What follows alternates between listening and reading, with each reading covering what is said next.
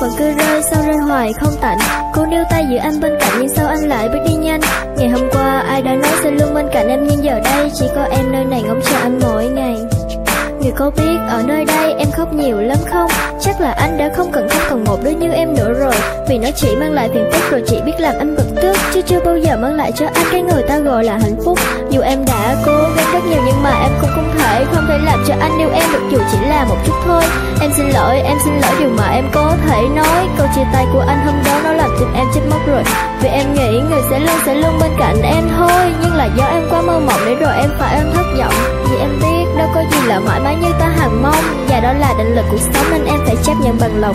Không có anh, em không chết. Chỉ là mất hết đi tiếng cười và cái người anh. Chẳng không phải là em Thì thôi anh cứ theo người. Nếu như người ta không tốt, Người ta làm anh đau, Thì anh hãy quay về bên em. Em vẫn luôn phía sau anh mà. Em sẽ chờ dù một năm hay là nhiều năm, em cũng sẽ đợi. Đợi tới cái ngày tôi được bên nhau và tình yêu viết thành lời.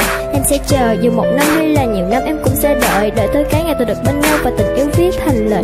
Và em ước em sẽ được bên anh suốt cả cuộc đời. Dù điều ước rất là nhỏ nhoi, nhưng sao em thấy quá xa vời? Người có biết, ở nơi đây, dưới cơn mưa em vẫn sẽ chờ. Một ngày nắng lên mưa sẽ tạnh, rồi anh lại trở về bên em. Nghe tay anh, em lại khóc, rồi em ước được anh bên cạnh. Nhưng điều ước mới là điều ước, chỉ có mình em trong đêm lạnh say, em lại say, em lấy rượu bia làm bạn. Vì chỉ có lúc trong cơn say thôi không buồn chán. Và em ước có lúc em cần anh sẽ đến như một người bạn.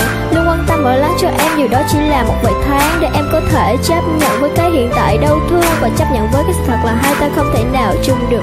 Thôi anh hãy bước đi và đừng quay lại đây nữa. Một đứa con nít như em không đáng đi được anh yêu, anh biết chưa? Và những lời hứa đó em sẽ cố gắng quên nhanh thôi mà. Hai ta không duyên không phải chốc lạ chỉ được làm bạn. Thôi anh hả?